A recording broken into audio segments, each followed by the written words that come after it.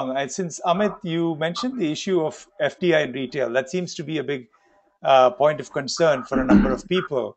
And although the BJP has uh, painted a picture of being very pro, you know, FDI in retail, their own states don't necessarily follow that uh, part of their agenda. But uh, you know, let's address that issue of FDI in retail since it has come up and it's an uppermost in the minds of many of the business people uh, in our country.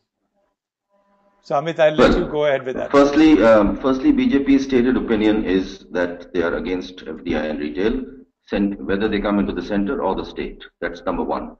But we are not following that. We took our own individual opinion on what we had to do. For Delhi, you see, firstly, the two we must separate the two parts. FDI and organized retail. They're two separate things. There are already 4,800 organized retail stores in India.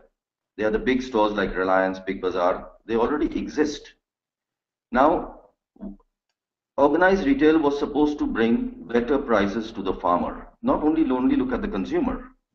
Our real issue is that 40% of our produce spoils before it reaches the market of the farmer.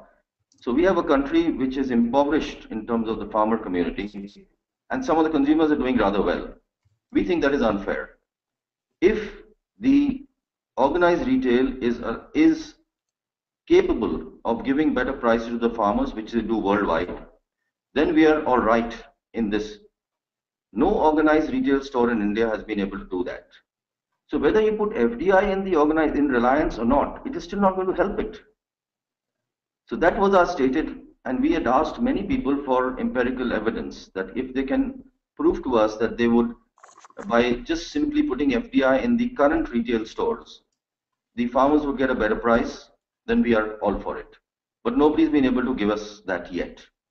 We are not against FDI as a whole in all industries, only in retail because of it has been shown to us that it will actually remove a lot of jobs uh, and it only will help a certain set of consumers. In some countries, they've done better because the whole chain, the cold chain, the trucking chain, etc., is very efficient.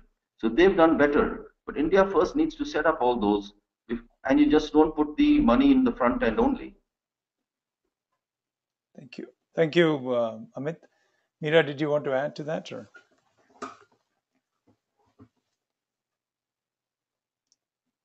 Sorry, Meera. Yeah. Go ahead. Go ahead. The Sorry.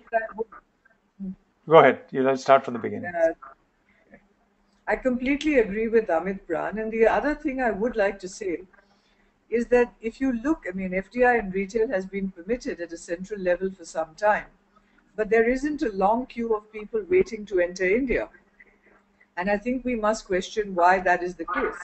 To the best of my knowledge, and my information is slightly dated, I think there is only Tesco which has filed for a technical collaboration with the Tatas. I think we're all aware that Walmart was sanctioned by FATCA for ostensibly, you know, violating that act in India.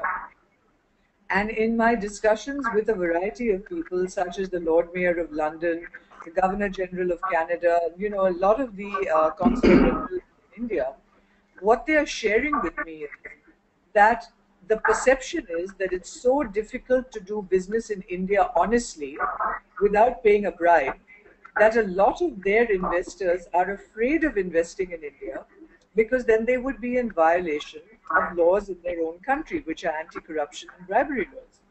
And so, to me, one of the things that Aam Party stands for is what will, you know, if we are able to get rid of corruption in India, a lot of foreign investment will start flowing into the country, which at the moment people just simply cannot do. So a lot of this is, uh, if you like, optics.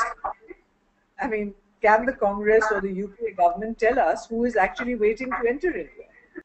Okay, so uh, thank you, Meera, for that.